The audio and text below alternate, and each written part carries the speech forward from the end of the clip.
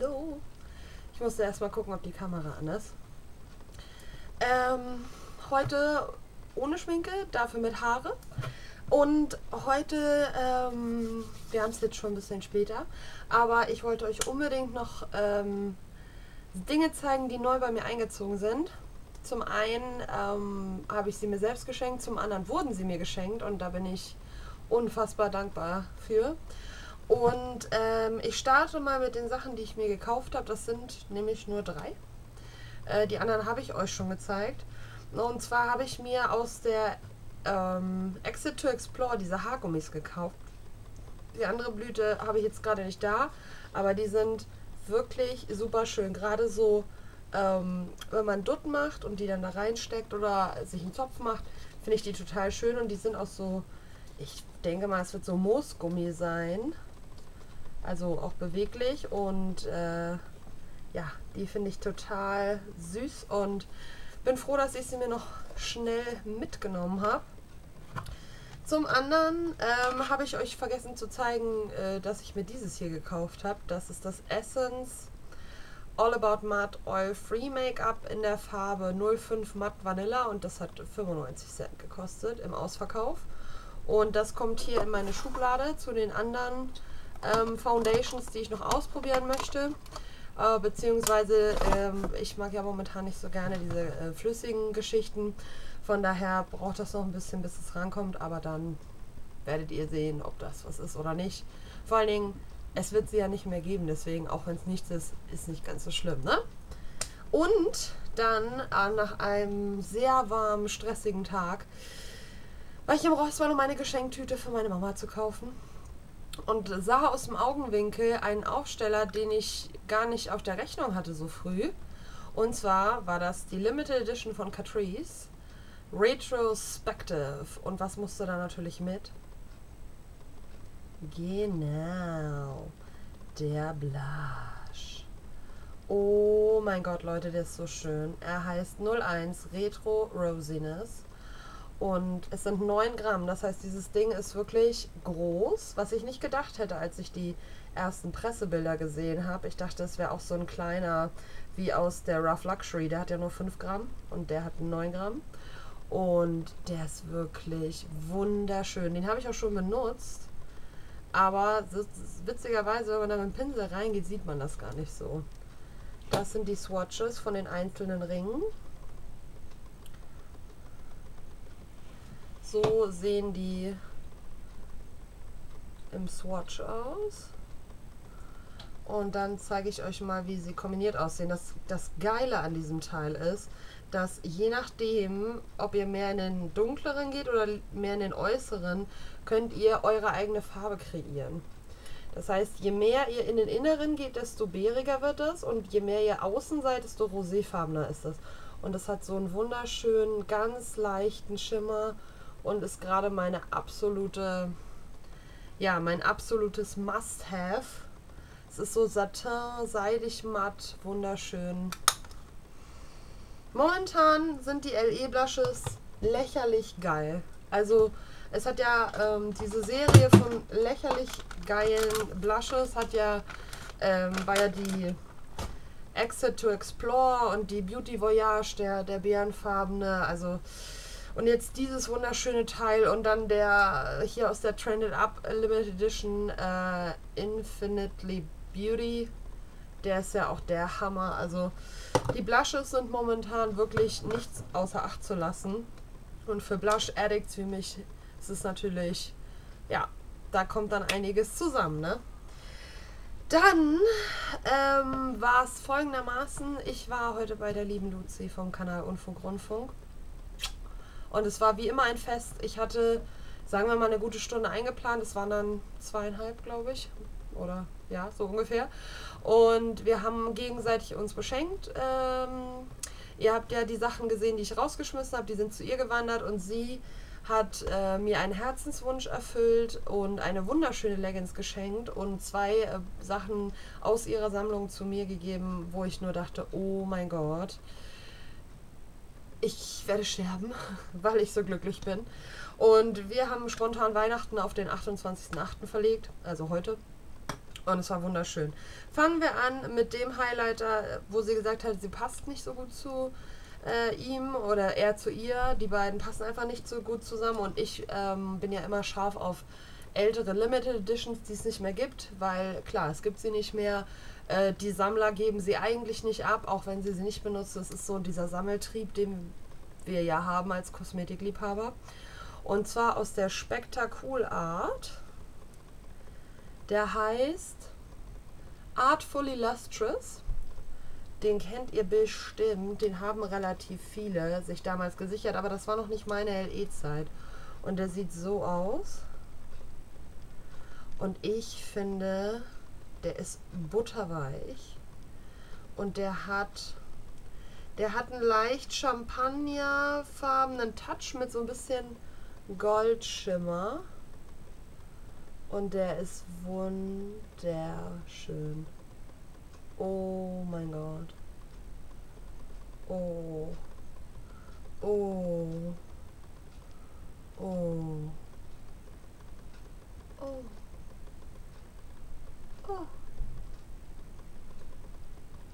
Freue mich ganz doll.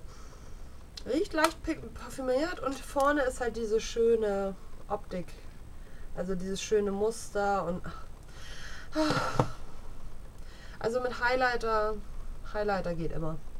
Immer. Also ich bin da auch recht großzügig, was Highlighter angeht. Also die dürfen auch ein bisschen gröber sein oder so. Ich bin da echt nicht so empfindlich.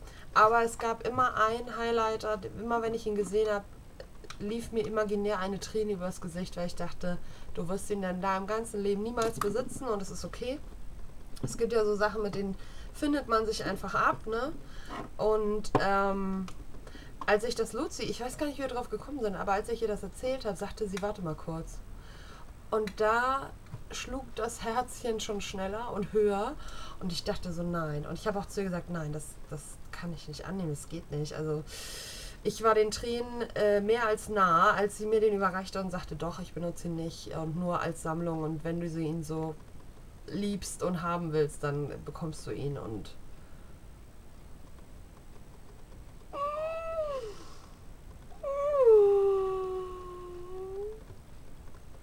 Ist irgendwem mal aufgefallen, dass hier ein Hase aus einem Zylinder ist und ein Pferd äh, und ein Karussell? Und das... Oh.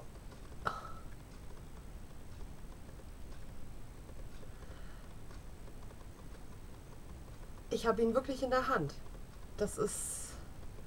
Das ist kaum zu fassen. Das ist wirklich Gold. Also das ist speckiges Gold par excellence. Aber es ist einfach der Circus Circus Highlighter von Essence und er heißt 01 It's Magic und es ist Magic. Er ist, er ist einfach Gold und wunderschön und oh, ich kann es nicht erwarten, ihn zu tragen. Weil er einfach quasi das Äquivalent des goldenen Highlighters ist, ohne dass es irgendwie nach Overspray aussieht oder so. Ich, ich bin so gespannt, wie er auf meinem Gesicht aussieht und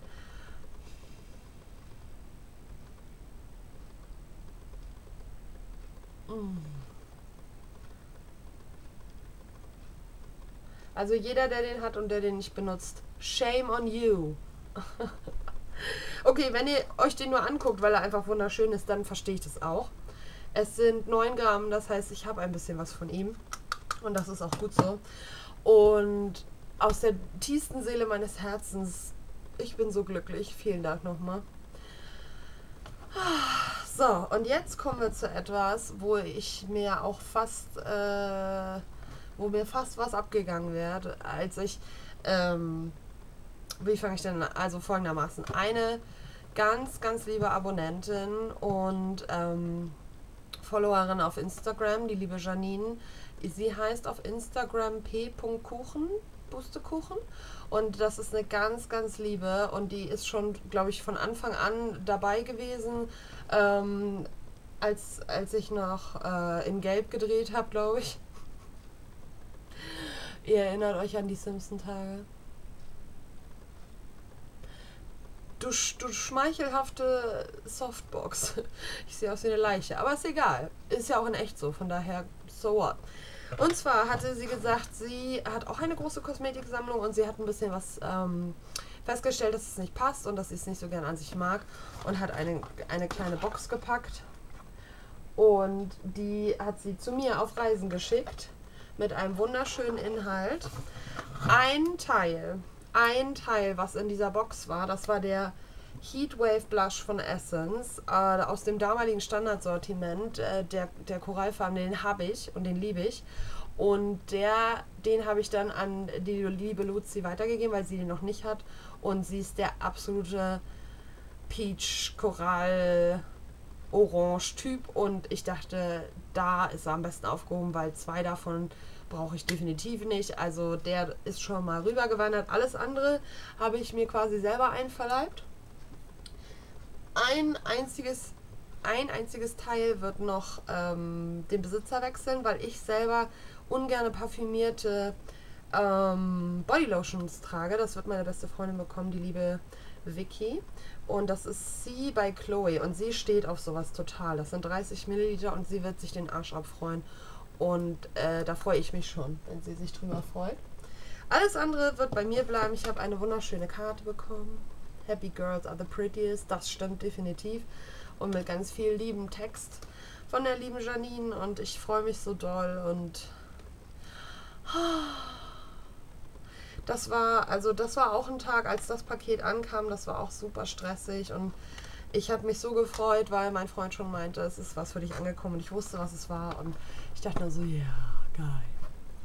Fangen wir an ich habe ein original verpacktes Aven Thermalwasserspray bekommen. Das ist mein Aven Thermalwasserspray und das ist so gut wie leer, deswegen Backup, geil, ich freue mich ganz toll.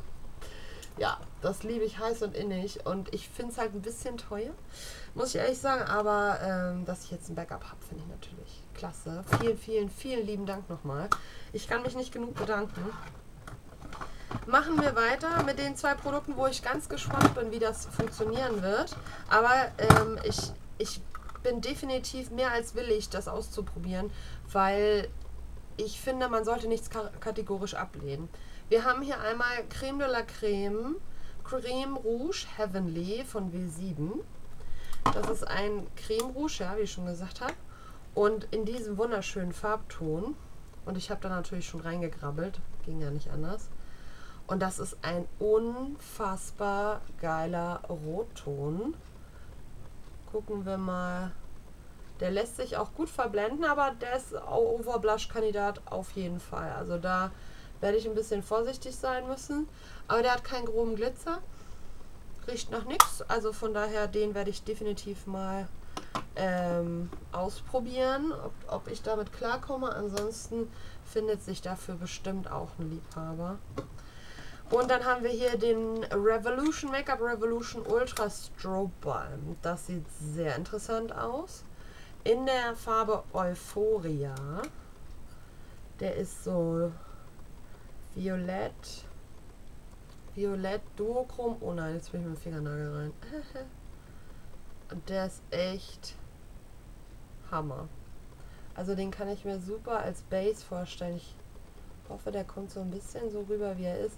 Er wirkt so sehr hell, aber der hat eben diesen pinken Duochrom drin. Und das finde ich geil. Riecht auch nach nichts. Ich mag immer gerne, wenn das nicht so stinkt. Sehr cool. Probiere ich auf jeden Fall aus. Dann haben wir eine Sexy Pulp Ultra Volume Mascara von Yves Rocher. Da bin ich ganz gespannt. Ich habe von Yves Rocher so gut wie nichts. Ich glaube, ich habe nichts von Yves Rocher und äh, da bin ich mal gespannt, wie der sein wird. Mm, ich mache ihn mal auf. Der ist nämlich Originale verpackt. Originale, Originale. Oh, ich finde das so toll. Ich freue mich so doll. Ja, wir haben Weihnachten in den August verlegt, definitiv. Also, das ist Mascara Ultra Volumen, Maxi Bürste. Maxi Bürste Volumen, Wimpern für Wimper. Wimper für Wimper, so. Gucken wir mal. Oh ja. Der ist groß. Riecht nach Mascara. Bin ich mal gespannt. Das ist so eine mit so zwei Bobbles, die Bürste. Und ich bin mal gespannt, wie der ist. Den probiere ich auf jeden Fall mal aus. Bei Yves Rocher, wie gesagt, habe ich nichts. Bin ich mal gespannt. Bin ich mal gespannt, was das wird. Nee. Die Karte stelle ich mir mal hier oben hin. Die ist echt zuckersüß. Hm, ich freue mich ganz doll. Dann waren hier zwei Produkte drin. Ähm, und ich muss ehrlich zugeben, äh, ich habe ein bisschen geschrien, als ich sie ausgepackt habe.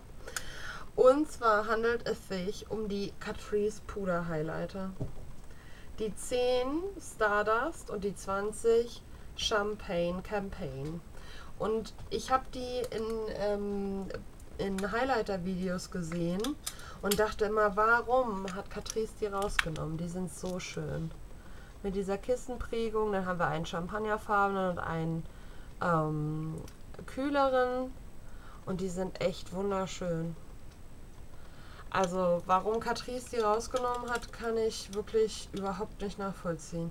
Vor allen Dingen diese, ähm, dieser Champagnerfarbene, der hat hellere und dunklere Kissen. Ich weiß nicht, ob die Kamera das kriegt, aber mir kommt so vor, als wären die unterschiedlich eingefärbt. Also rosé und, und halt so kühler. Hammer. Wirklich schön. Also der Champagnerfarbene, der erinnert mich ein bisschen an die aus dieser Weihnachts-LE von letztem Jahr. Echt schön. Kein, kein grober Glitzer, ganz fein. Also kann ich leider, also kann ich überhaupt nicht nachvollziehen, wieso Catrice die rausgenommen hat. Die sind echt super schön. Pudrig, kein, kein, nichts Grobes. Einfach ein schöner, feiner Schimmer. Die werden super sein. Das weiß ich jetzt schon. Das habe ich im Gefühl, ihr? So als, als alter Highlighter-Hase, das, das merkt man gleich so, die, die Vibes, die so ein Highlighter aussendet. Und dann kommen wir zu einem, äh, zum letzten Teil, glaube ich. Ich hoffe, ich habe jetzt nichts verschlüsselt, außer den einen Blush, den ich ja schon, äh, der ja schon ein neues Zuhause gefunden hat. Kommen wir zu meinem absoluten Oberknüller-Highlight aus dem Päckchen, diese Go-Palette. Ich meine, das müsste Make-up Revolution sein, weil ich habe die irgendwo schon gesehen. Da ist 4,5 Gramm Highlighter drin, 6,5 Gramm Blush und 5 Gramm Eyeshadow. Ich glaube, dass die den Kontur, das Konturpuder, der hier drin ist, als Blush rechnen. Wir haben hier dieses Konturpuder, das ist sehr hell, sehr natürlich, total schön. Diesen unfassbar schönen Blush, diesen super schönen Highlighter und diese sechs äh, Lidschattenfarben. Und das ist echt geil. Und die sind wahnsinnig gut pigmentiert. Also die Eyeshadows, ich habe heute den getragen, den dunklen hier. Der ist so black, ne? Der ist so unfassbar pigmentiert. Er ist, er ist eigentlich dunkelrot mit rotem Glitzer, aber auf meinem Auge wirkte der so dark. Das könnt ihr euch nicht vorstellen. Ich swatch euch mal die Lidschatten. Die sind schön äh, weich. Krümeln auch jetzt nicht so doll. Ja, jetzt habe ich sie ein bisschen hässlich geswatcht, aber ihr habt einen Eindruck auf jeden Fall von dieser Palette, was die kann. Metallisch kann sie sein, semi-matt, aber echt geil. Also geile Farben, wirklich. Also für eine, ähm, für ein, wenn ich mal auf Reisen gehe, also vielleicht nehme ich die mit nach Wien, obwohl ich Angst hätte, dass sie mir kaputt geht, glaube ich. Ähm, da hätte ich Eyeshadow technisch alles dabei. Ich hätte Highlighter, ich hätte Blush, ich hätte Kontur, ich müsste nur Augenbrauen und halt Base mitnehmen. So, dann der Highlighter. Der ist unfassbar schön. Das ist unglaublich. Okay, meine Hand ist jetzt auch mehrfach gereinigt, noch ein bisschen feucht. Also verzeiht mir, wenn die Farben nicht ganz so rüberkommen. Das liegt an meiner Haut. Das liegt nicht an dem Produkt.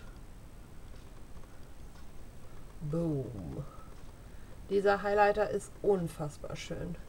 Auch wieder Genau, also der ist ganz ohne Glitzer. Der, also der schimmert wirklich, reflektiert speckig.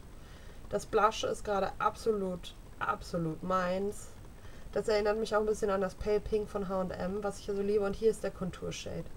Der ist, so sieht er jetzt relativ warm aus, aber im Gesicht schmilzt er einfach. Schmilzt er einfach. Oh. Wunderschön. Wunderschön. Diese Palette ist der Hammer. Der Hammer. Oh. Awesome. Awesomeness in a Palette. Also wenn ihr so eine Allrounder-Palette sucht, ich weiß nicht, wie viel die kostet. Nicht viel auf jeden Fall. Also glaube ich nicht. Aber ich habe sie mir nie bestellt, weil ich dachte, warum? Du hast so viel, bla bla bla. Ihr kennt das ja. Aber alleine für diese Highlighter-Blush-Kontur-Geschichte finde ich den schon toll. Danke, danke, danke, danke, danke. Vielen, vielen Dank. Ich bin so glücklich. Ach. Ach ja, wenn so kleine Sachen einen so wahnsinnig glücklich machen können, weil andere liebe Menschen einem was Gutes tun wollen und lieb zu einem sind und man selber auch so was zurückgeben kann, das ähm, ist mir einfach, oh, das ist mir einfach das Liebste. Ich glaube, ihr könnt das nachvollziehen, ihr kennt das bestimmt auch. Und äh, ja, das, das wäre es jetzt erstmal gewesen. Ich hoffe, ihr fandet es ein bisschen interessant und ähm, ja, ich hoffe, wir sehen uns beim nächsten Mal wieder. Lasst euch nicht ärgern. Ich freue mich schon auf euch. Wenn ihr wollt, kommentiert. Ihr kennt das ja gerne. Und dann sehen wir uns beim nächsten Mal, hoffentlich. Und haut rein, Leute.